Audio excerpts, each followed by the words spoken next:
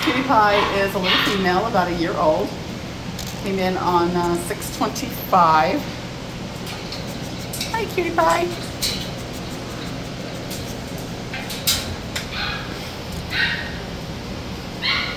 Hi, cutie.